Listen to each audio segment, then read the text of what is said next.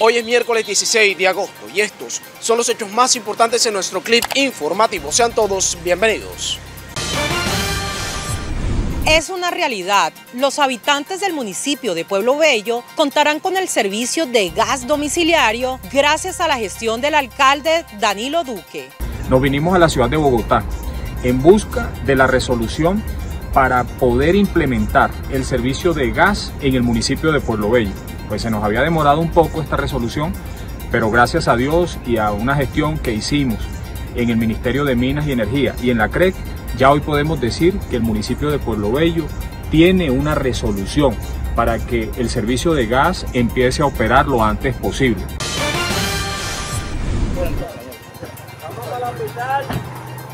En la clínica Laura Daniela de Valledupar falleció una adolescente de 17 años luego de que el pasado 13 de agosto fuera embestida por un motociclista en la vía del corregimiento La Duda, jurisdicción del municipio de Agustín Coasi Cesar. La menor se desplazaba en una bicicleta.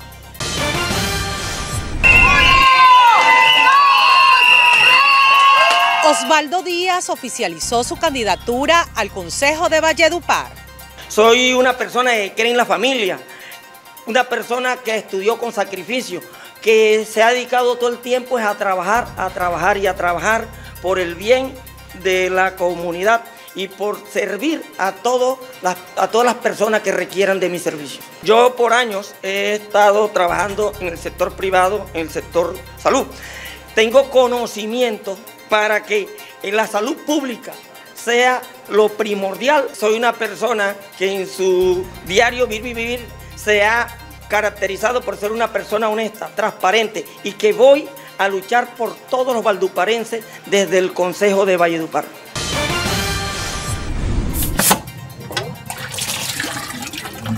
Esta es la problemática que hay en la urbanización Guayacán. Para poder conseguir agua tiene que ser así. Porque tenemos ya un mes sin agua en la urbanización. La deficiencia del servicio de agua potable sigue afectando los diferentes sectores de la capital del Cesar.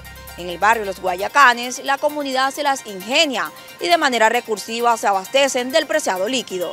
Ya nosotros tenemos un mes eh, con esta problemática del agua. Nos hemos acercado a Endupar y lo que nos dicen que la primera versión que fue por bajo afluente del agua.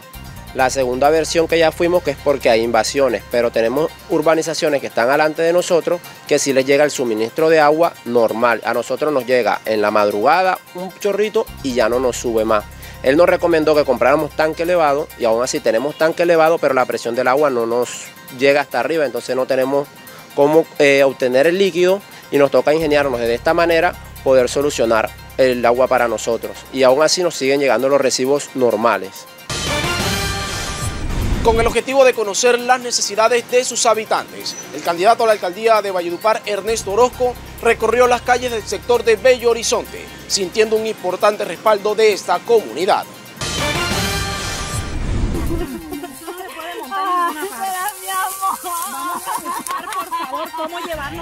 Como Haider Javier Mindiola Rodríguez, de 39 años, fue identificado el cuerpo hallado en avanzado estado de descomposición en un lote baldío ubicado en inmediaciones a la Feria Ganadera de Valledupar. Esta persona natural del corregimiento La Mesa había sido reportado como desaparecido por sus familiares.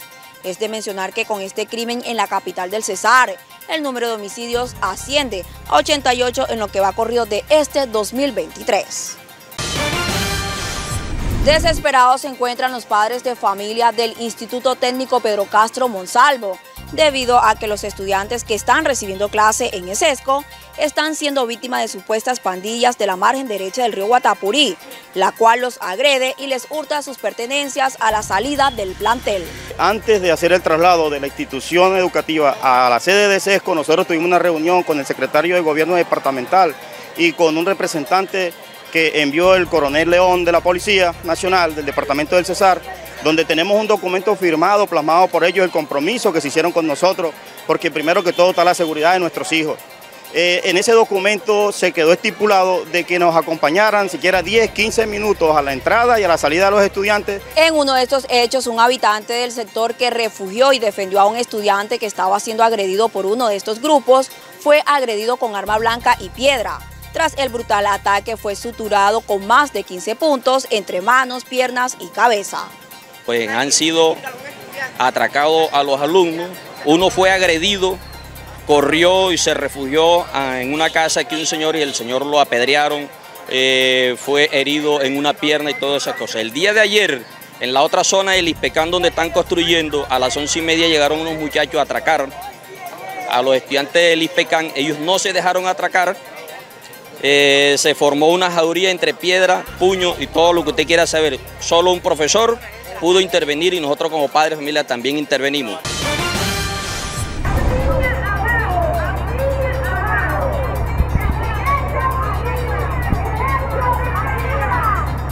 Habitantes del corregimiento Los Venados, jurisdicción de Valledupar, bloquearon la mañana de este miércoles la vía debido a las altas tarifas en el servicio de energía.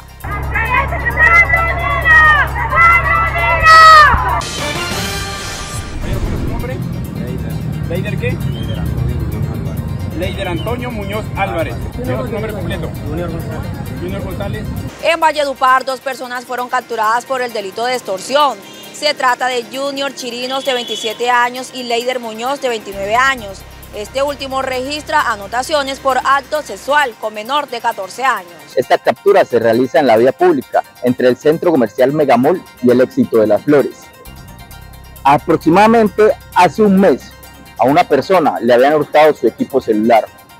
Lo intimidaron con armas de fuego.